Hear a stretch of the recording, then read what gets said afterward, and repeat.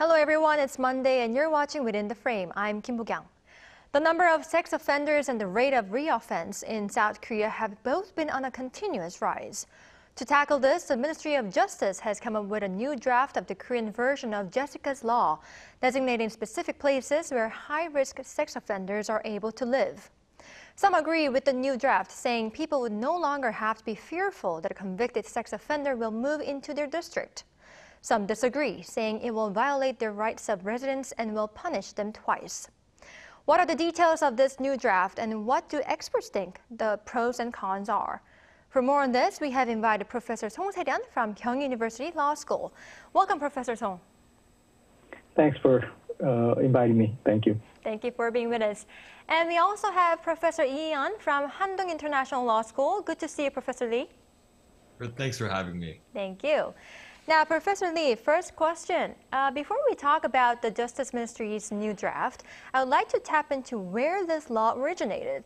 The law is being called the Korean version of the Jessica Bill. How did this Jessica Bill get enacted in the U.S., and what does it say?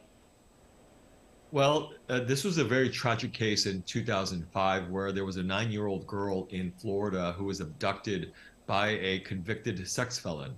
And so in this particular case, she was abducted, she was kidnapped, and then you know violated, and then eventually killed. And about less than a month later, you know her remains were found in a bag, and it really caused a lot of shock uh, to the community in Florida about what happened to her because this was a registered sex offender that committed these acts. And so her father, in this case, Jessica's father, Jessica Lunsford, her father then pushed for a bill within Florida to make sure that these kinds of events don't happen again, where you have a, again, a, a registered sex offender who was living in the area who then was able to then uh, commit this crime again in such a violent way. And so Jessica's Law basically was an initiative made by uh, this father, concerned father, who then pushed it through the, the Florida bill as a law. But basically, what it means is, in these kinds of contexts, is there's a limitation in terms of uh, where particular sex offenders can live. So, uh, particularly in terms of the distance that you may be from a place where children are gathering. So, for instance, at a school. So, some states, uh, like Florida, have said, you know, within 2,000 feet, a sex offender may not live in terms of their residence uh, as well as you know mandating certain kinds of penalties for sex offenders in this situation. So minimum uh, of 25 years uh, in the situa- certain circumstances if you are uh, convicted of, of, a similar crime. Uh, there's also notification requirements to local institutions like school boards and other places where there may be children around. So this law was uh, first enacted in Florida and in many states around the United States, then copied uh, this law, and then you had different versions of Jessica's laws in, in many states in the United States. All right, I see. So it includes measures restricting sex offenders from living near schools and other places where uh, students could be around. Now, uh, Professor Song, the ministry's draft certainly has differences from the U.S., but before that, let's discuss the reason why the Justice Ministry came up with this law. I hear it is because of an increasing number of sex offenses. How serious is this? Well, uh, if the report is right, uh, it's pretty serious. Uh, there has been a steady and also uh, pretty uh, quick uh, increase in the, the conviction of the sexual offenses. Um, I think the one lawmaker uh, mentioned that uh, it, uh, uh in the last five years, uh, it uh, leaped into tenfold of convictions. but I, I, think you have to kind of take into consideration that because of the high-profile cases, not to the Jessica Lunsford case degree, but we have had a lot of news articles and, uh, instances where uh, public uh, are now and put a notice that uh, this is this is becoming a dangerous uh, environment. So there there has been some uh, enactment or the expansion of the law, especially for example in the 2020 the statutory rape range was expanded. previously 13 years old, but now in in many cases you can you can get punished for uh, violating 16 year olds. But also, uh, 2021, the so called nth room uh, uh, uh, scandals, that digital offenses were made into the, the, the, law for prevention. So, because of those laws, there are more acts to punish at this point. So that partly explains the the increase in a rapid increase. But I, I think you cannot deny that there has been uh, some uh, increases in, in this area. And also, society's mood is that we have to be tough on crime uh, because not only the sexual offenses, but uh, the, the, drug offenses and other violent uh, crimes is uh, happening on the streets. So those things kind of conspire to make a, a, a, right environment where Uh, we have to act as a society and enact laws to uh, counter the, the occurrences of these crimes. Right. It's quite unfortunate to see how the number of sex offenses is continuously increasing. Well, uh, Professor Lee, let's now delve deeper into the details. What does Korean version of the Jessica bill mandate, and how is it different from Washington's? Right. So, uh, as I mentioned before, the Jessica's law is a state law based uh, provision. So, there's no federal law in the United States that's similar in nature. But with respect to sort of the differences and similarities, uh, naturally, uh, when it comes to Jessica's Law in the United States, one of the basic provisions is mandated prison term. So, as I mentioned before, 25 year minimum prison term for raping a child under the age of 13, and there will be 15 years for attempted rape in those cases. Uh, but the, the big issue, I think the big thing, thing that is, I think, unique about Jessica's Law is the questions about where someone can live. So, as I mentioned, in the United States, it varies from jurisdiction to jurisdiction. But some places in the United States say even that you cannot be within 500 feet of a, a place such as a school, a place where children gather regularly, daycare center, for instance. Uh, and goes from 500 feet in some jurisdictions to 2,000 feet in, in others.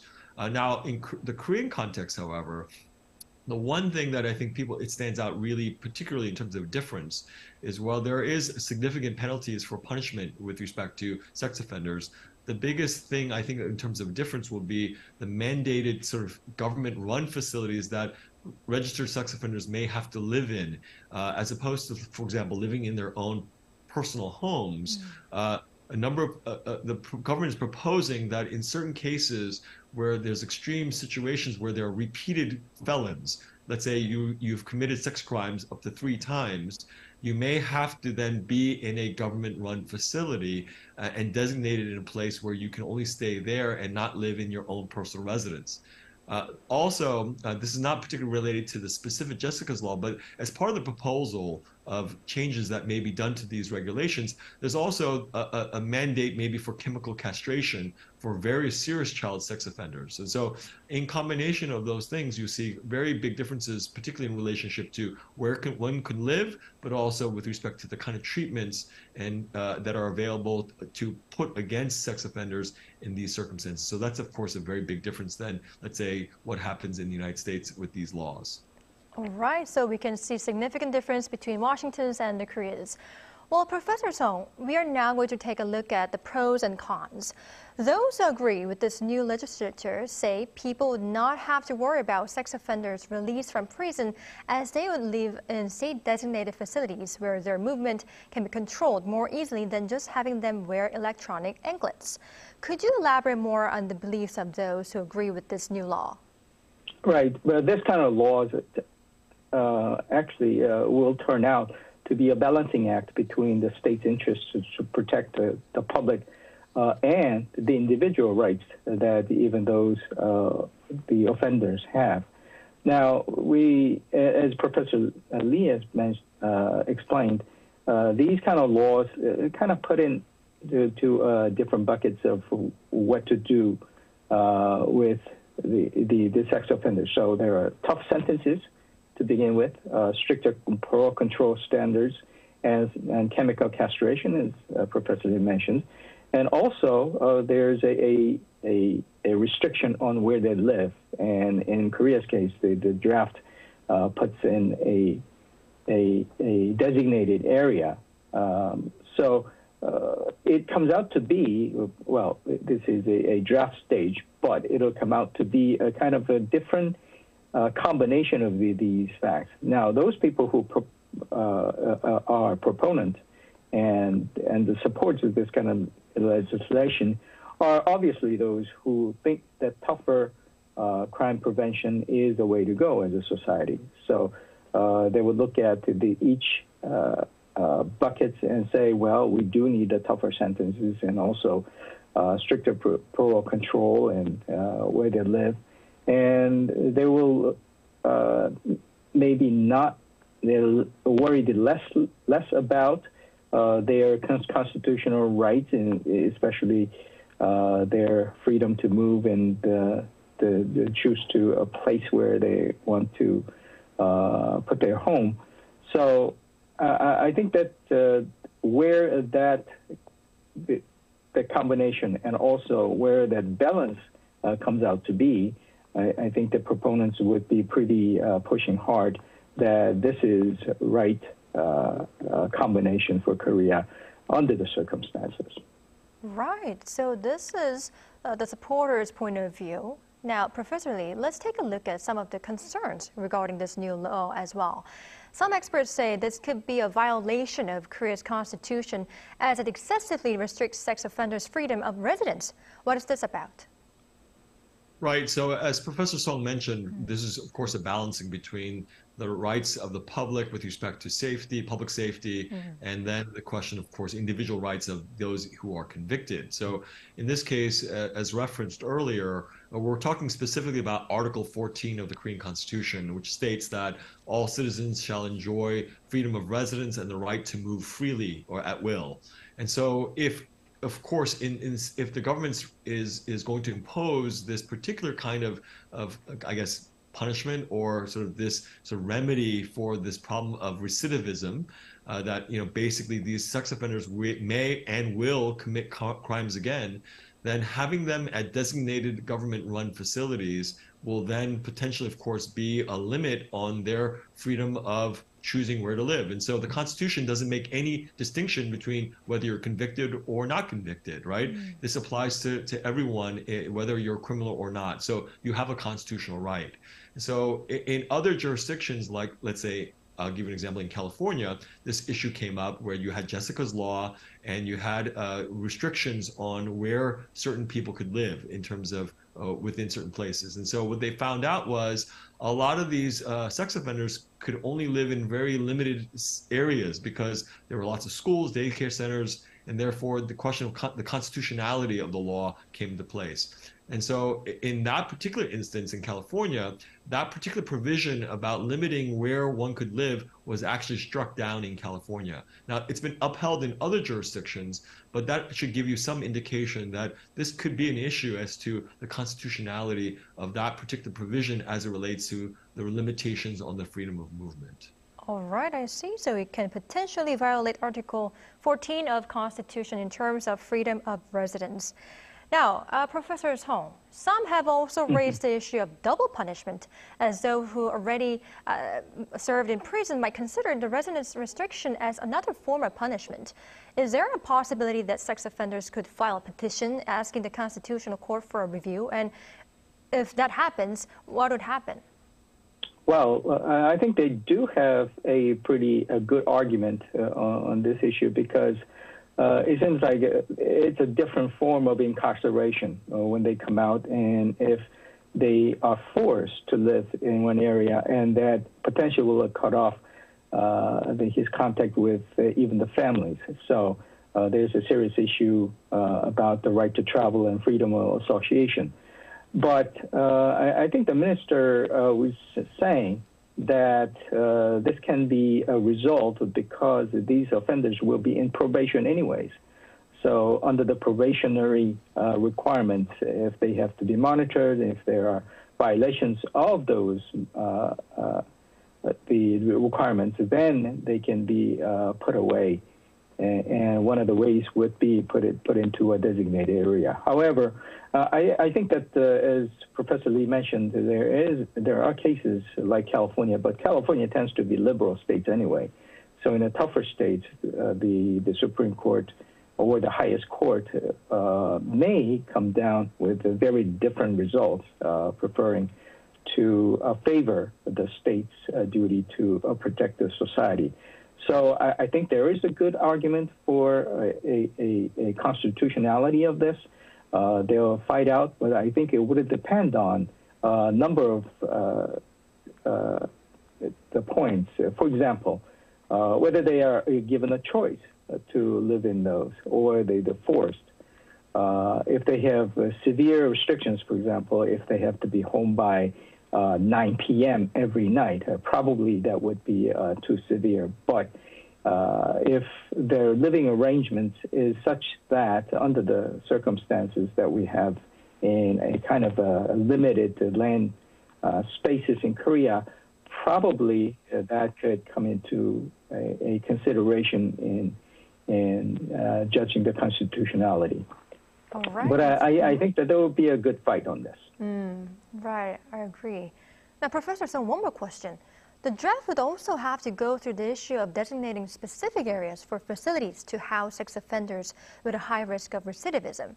And as nobody would happily accept the idea of having such a facility near them, it will be very difficult for the government to select a place. What is your view on this? Well, this would be a NIMBY in a very mm. extreme case right?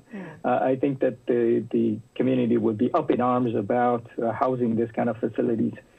Um, and also, this is will be uh, a case where uh, they'll be spending taxpayers' money to house them and and um, uh, providing this kind of case. Uh, but I, I, think that the fight is come down to if we don't have this kind of arrangements, then the, the communities will have to be uh, vigilant about those convicts coming into their areas, uh, uh, take a residence, but without the level of uh, monitoring or the, the guidance from the state. So it's, it's their choice. Sometimes it's better to have a designated area that everybody knows that, that they're there and they'll be monitored and the state has the responsibility of patrolling them rather than saying that, well, uh, we run the risk of somebody coming into the community without any restrictions. So I, I think this would be a, a, very big awareness and the promotion issue as well, and it has to be communicated and debated. But uh, I think that it comes down to what kind of benefits the society gets uh, by having those facilities uh, near their home because uh, obviously their property value will be affected. Mm, all right, I see your point. Well, uh, Professor Lee, so up till now we have been talking about many concerns that have been raised regarding this law, but already other countries have such a law, for example, the United States, as we have already mentioned. What is the situation like abroad? Right. So uh, uh, many countries around the world do have specific sex offender laws, and most of them are in relationship to, for example, registering with local authorities as well as giving community notification that you are indeed a sex offender. And that's relatively common in many developed countries around the world today. Uh, and but you know, as we've been talking about in this discussion, uh, the really the big issues related to sex offenders is again they have individual human rights, even though they are convicts, uh, but also because uh, because of the high chance of recidivism, which the science has apparently proven that sex offenders, particularly of a certain kind, uh, are prone to to do the crime again over and over again without you know without stopping. Because for whatever reason they have a, a, a, real problem with this really serious issue and so the public certainly has an interest to make sure that their children are protected against such offenders and so uh, the courts around the world uh, particularly in the european context have really uh, uh examined this issue on, on, different levels and so particularly i'm thinking of here the european court of human rights has addressed this issue from a number of states. Uh, and I and I mentioned here that the United Kingdom has such rules that include notification requirements as well as reporting requirements. And in such cases, really the question is proportionality, right? So you have to think about, as we've been talking about, the balance between the interest of the public and protection, the state's interest to do that for its people versus the individual rights of, of those who are subject to these rules. And so uh, the balance here, and depending on the jurisdiction, whether in Europe or in the United States or another country, is they use different legal standards to to identify you know, what's appropriate, the appropriate balance to be made. And so, in the European context, a lot of these rules have been upheld because the interests of the public outweighed, in this particular case, the individual rights of, of the convict because of the, the high chance of, of committing these crimes again. And so uh, I think the general trend has been across the, the board. Uh, while Professor uh, Song mentioned that California is a very progressive state, certainly many states have sort of really held fast to these rules and have upheld them within their constitutions. All right, I see your point, Professor Lee. Now, we are running out of time, but I'd like to ask this last question uh, quite briefly to our Professor Song. So, such a discussion, you know, is basically to contain repeat sex offenses. Could you give us any suggestions to make this stricter regulation even more effective? Well, I, I think that the, in, in, the outset they said there, there are many ingredients, uh, like the, the, the, the, chemical castration, uh, the restrictions, but oh, I, I, think it has to start with the tougher uh, sentences and the parole control. Uh, then send the message that this is a serious crime, that you should not do these acts. Mm-hmm. And after that, because uh, some, some of the sexual offenders have the medical condition uh, that they cannot uh, uh, control, so I, I think they, there has to be a wholesome approach where uh, if they need the chemical castration, they, they, they should. Uh, they need if they need the, the living arrangements arranged. I, I, think that should be an option. But uh, with the, the, tougher restrictions, uh, tougher uh, sentences, I think you can you can give them a choice to take these, so that you can take away a lot of the constitutional problems with this, and make a kind of a uh, set of uh, ingredients to make it a good recipe rather than uh, going out of balance in one or the other areas. Mm, I cannot agree more. Professor Song, thank you for your advice. And unfortunately, this is all the time we have for today's edition. Uh, thank you, Professor Lee and Professor Song, for your time and insights. We really appreciate it. My pleasure. Thank you. Thank you. Thank you. All right, that's all for Within the Frame tonight. We'll be back tomorrow with more in-depth stories. Thank you for watching and goodbye.